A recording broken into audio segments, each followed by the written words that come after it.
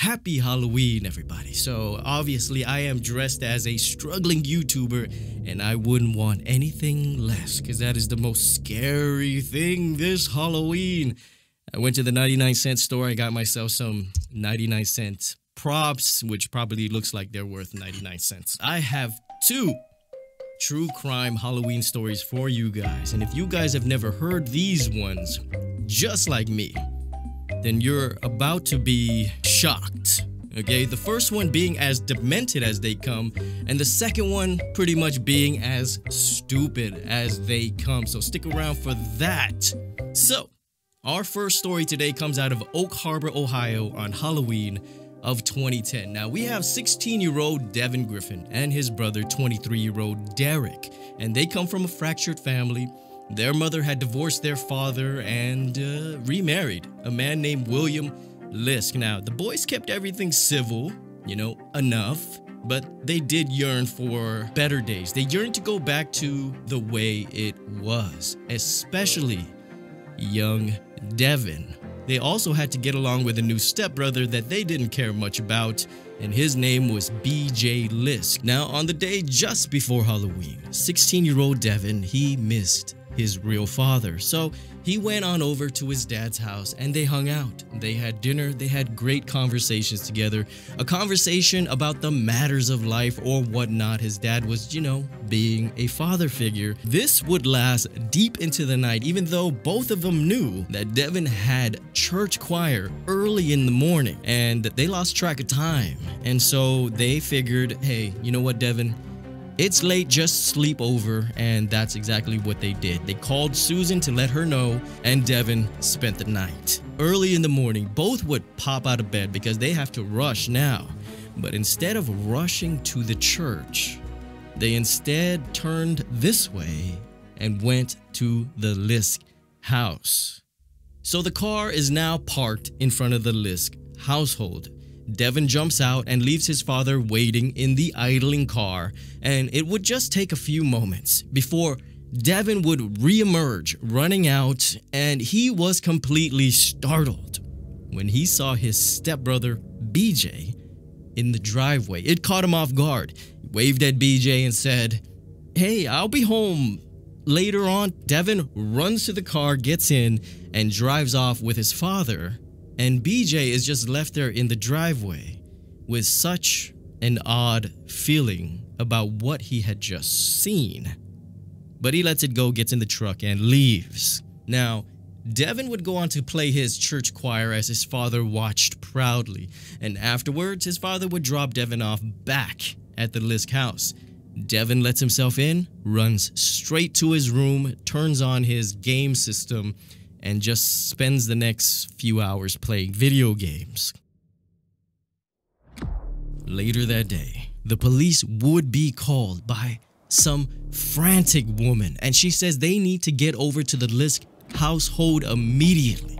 There has been murders. And when the dispatch hears that, they're dispatching everybody. Shortly, the property was overrun by police cars, detectives, forensics, you name it, they were there because within the walls of this house, every occupant murdered. 53 year old William Lisk and his wife, 46 year old Susan Lisk, were found shot to death in their beds. 23 year old Derek Griffin was found bludgeoned to death in a downstairs bedroom. Now, when police first arrived, they would find the most gruesome thing that they have ever seen in their lives, in their careers, when they found the bodies of William and Susan. William had been shot five times at point blank range, and Susan was shot three times, and it was clear to them that she was shot second because William had no defensive wounds. He was probably murdered with the first bullet to the head. Whereas Susan, she would be awakened by these gunshots, puts her hands up where they could see their bullets went through her hands. Derek Griffin's body was found later bludgeoned to death by some blunt object that the detectives believed was a hammer.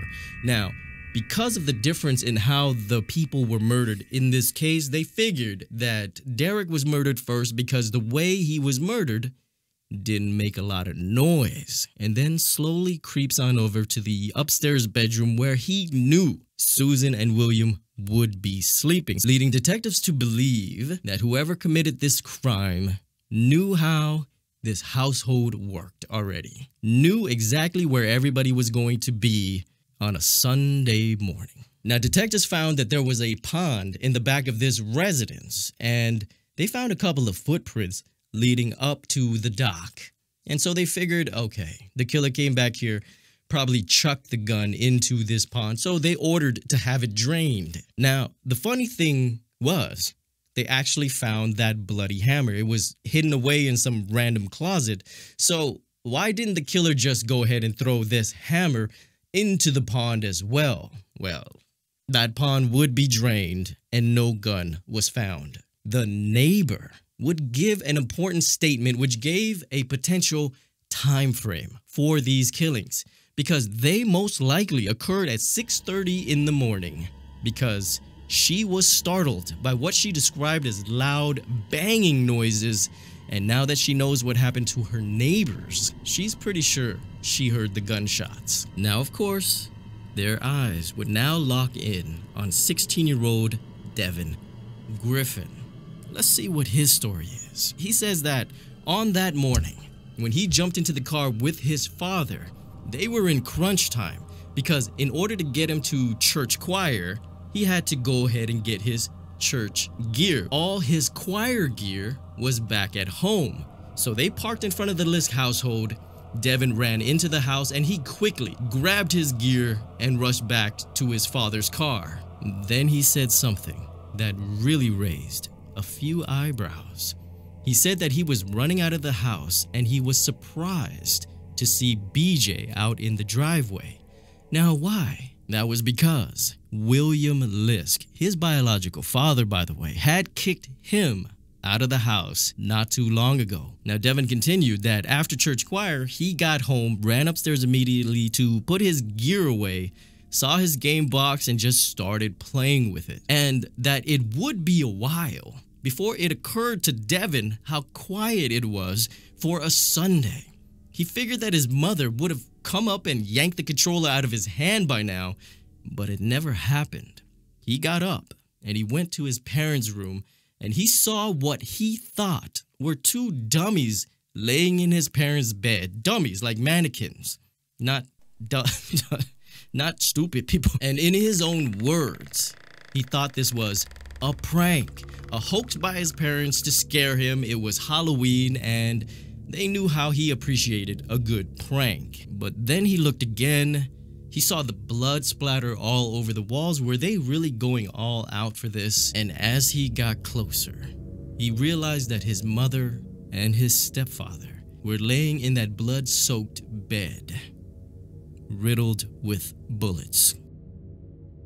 Now, Devin went cold. Yeah, his mind, it froze. And instead of calling 911, the only thing he could think about was calling his aunt, Susan's sister. She would be the one that would actually call it in. Now, once alibis were confirmed, Devin and his father were eventually cleared, and the next logical step would be so, where is this BJ? Just know, BJ is only what everybody calls him. His name is actually William, just like his father, and I don't know why, but everybody calls him BJ. Now, it would be Devin's aunt, the same lady that called it in, that would fill detectives in on a bit of disturbing family history concerning BJ and her late sister, Susan. There was tension from the very first day they met because BJ was very similar to Devin and he craved for things to go back to the way they were. You know, things kids think about that come from a broken home. So, since that very first day, things never got better. It only got worse, and it was exacerbated when his father married Susan in 2001. Now, considering BJ's unacceptable behavior, Susan felt that she was forced to establish some ground rules in the house, but BJ was having none of it. In fact, his behavior only got worse. He began skipping school and doing Lord knows what. So by 2002, just a year into the marriage, local authorities were very familiar with BJ, who was now just 16 years old. He was already put on house arrest for numerous offenses, and when the police first came to arrest him, they ended up being attacked by the boy, which ended up adding assault charges in juvenile court. Now, in 2004, a now 18 year old BJ punched Susan straight in the chest during an argument. Now, after a couple of horrifying months of madness, Susan finally filed assault charges when BJ just straight smacked her upside the head with a coffee cup and then stole her car. And get this, the assault and robbery charges were dropped because he was deemed incompetent to stand trial. Now, we clearly see why Devin and Derek never got along with their stepbrother. Family members would state that BJ had some obvious mental illness. He was already extremely confrontational, and now he was adding alcohol to the fire, and he would become a complete nightmare to be around.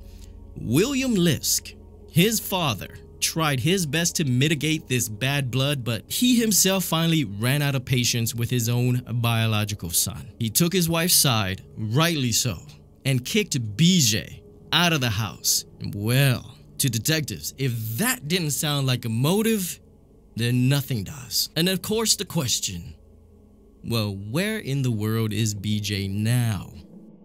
And it turns out that that question wasn't actually hard, it was just a very far drive. Now, he was kicked out of the house with just probably a suitcase, but no place to go. So the only other place that family members could think of him going to was a family hunting cabin in Carroll County, which was roughly 170 miles away. Well, they would find BJ in that cabin, and considering his past history with them, they 100% expected a fight from this man, but fortunately, he was apprehended without any incident. And guess what they found on his clothes? They had Susan's, Williams, and Derek's DNA, as if he wasn't really looking to get away with this crime at all. He was just looking to buy himself a little time. Now they would find a rifle in William Lisk's white truck matching the same 22 caliber used in the murder. That's apparently what he was loading into the truck when he was caught off guard by Devin running out of the house that morning. And you gotta imagine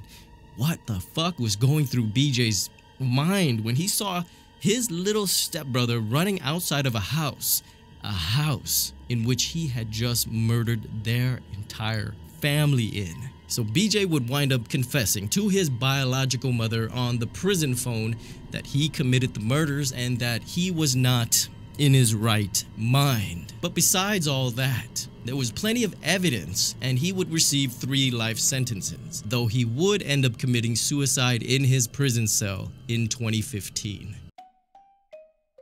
Now let's go ahead and get into the second story, but first I'd like to say, hey, please hit the like button if you guys are enjoying yourself so far. Besides comments, it's kind of the only way that I know that you guys like my stuff.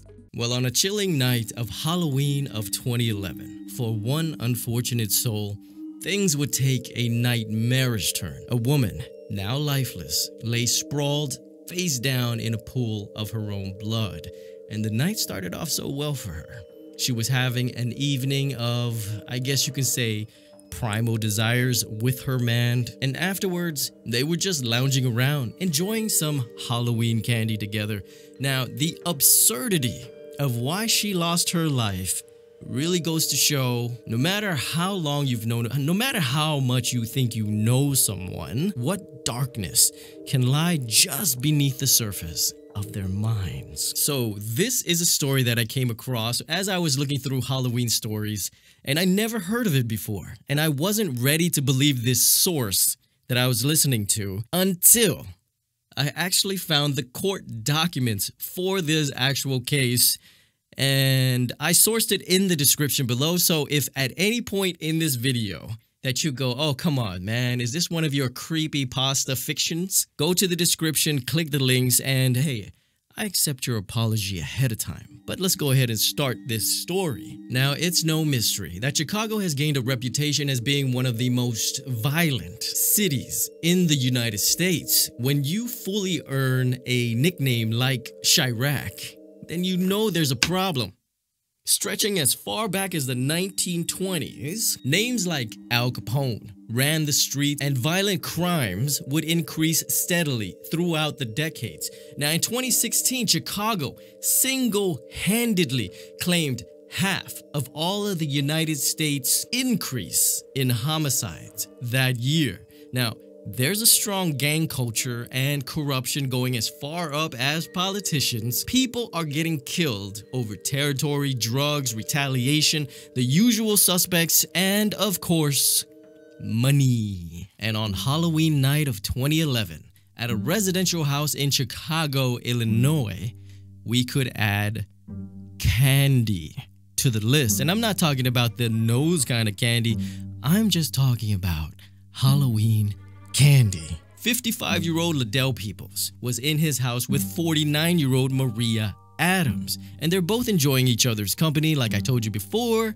they had just done some hanky panky and are now sitting on the couch just enjoying a bag of Halloween candy. Now, it's a little hard to say if they were actually an exclusive couple, being that she was a sex worker, a prostitute, if you will, by trade.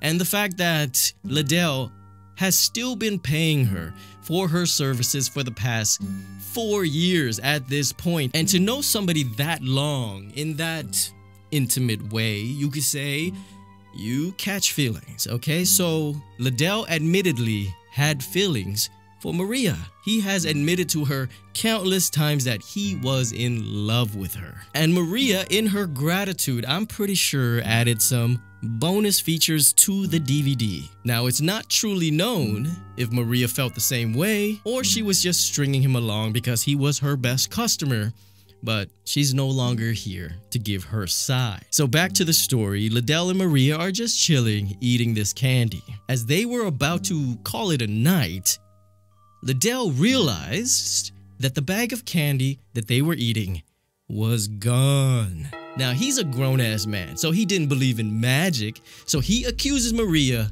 of stealing it. Well, this didn't sit well with Maria, who vehemently denies taking the bag, but Liddell knows that Maria is bullshitting him, and he forcibly searches her pockets as she curses the day he was born. And of course, she's gonna try to leave the house, but he holds her back and he continues searching, and lo and behold, in one of her jacket pockets was his big bag of candy. So from here, the situation escalates as Maria now really wants to get the fuck out of this house, but she can't overpower Liddell, who is keeping her from doing so. Instead, she breaks free of him and runs to the kitchen. She grabs plates after plates and starts flinging them at Liddell. And these are some high velocity flings because one cracks him just above the right eye, leaving this large, nasty, bloody gash. And when you look at the mugshot, you could still see it healing. And Maria was still just flinging plates until she just ran out. And according to Liddell, she grabs not one, but two knives and attacks him with it. Liddell, he's infuriated. He had just lost all his dishes and he has this nasty gash on his eye and possibly a sugar crash. So he grabs a knife himself. To protect himself, of course. He is able to knock Maria down to the floor. He wrestles away her knives and he begins to stab her until she stops moving. Now, when Liddell finally gets off her, Maria, with her last bit of strength, rolls over and lays face down in a pool of her own blood. Now, any rational person would see a scene like this and think that the person is dead. And Liddell, he admits that he did ponder escape, but he was 55 years old at this point. He hadn't really taken care of himself too well, so he was tired. He calls the police on himself instead because, as you will see from his point of view, it wasn't his fault. Police arrived to find Liddell Peoples on his front porch looking relatively normal and calm. An officer asked him, Hey bud, what's going on? And he responded, That crazy bitch, she threw a plate at my head. Was that racist? When the paramedics finally get there, they tended to Maria, who remarkably was actually still alive, but barely. Her blood pressure was dangerously low, and her sluggish eye movements indicated that she probably had some type of head trauma. And sadly, she would later die at the hospital where they estimated that she was stabbed over 20 times, with indication that her head was stomped on. So the police would go on to search Liddell's residence and they would find the bag of candy, but they would also find cocaine. So this motherfucker liked all types of candy, but it was the sweet and sour chocolatey goodness of regular ass Halloween candy that took this man over the edge on a day. They were just giving it away. Liddell, my man, just put on a mask, go out and trick or treat, and just re up. The motive is nonsensical, the perpetrator is just stupid, and the clown show will continue in a court case titled People versus Peoples. So when prosecutors asked him point blank if he had stomped on the victim's head, this clown Liddell responds, not actually. As far as you know, doing it? You know, I thought I had got her some, but it was just self defense. He then goes on to say that he didn't know that Maria was injured, that because of her hair and stuff, it covered everything. Your 20 stab wounds, her bleeding profusely, her turning over, moaning, and dying, her hair covered all that. You sat on her chest and stabbed her over 20 times. Guys, this might be the point that you don't believe me anymore. Go ahead and click the link below, read the document yourself. It's all there. And the next part of his testimony most likely severed all ties with the jury as well as reality in itself. He said that after calling the police, he went back to check on Maria. How did he check? He nudged her with his foot to see if maybe she needed some help. Now, I'm guessing that Liddell is still not comprehending what that crazy red liquid is because, in his own words, he said that he was making sure she wasn't still trying to do something sneaky. Liddell, what do you think Maria was trying to do that was sneaky? She was pretending to have been stabbed 20 times? Did she come to your house with a fake bag of blood so as to just let it pool around her and pretend to bleed to death? Liddell Peoples was found guilty of the murder of Maria Adams and given 30 years in prison and he'll be out when he's 85 years old. Now, if that's not the dumbest Halloween crime, uh, give me another one. My name is Monks. Join me every week for a new true crime video, and I'm adding creepy pasta or original suspense fiction to the lineup. So please let me know if you enjoy them and have a fun and safe Halloween. Be sure to protect the ones you love, and don't forget to love the ones that protect you.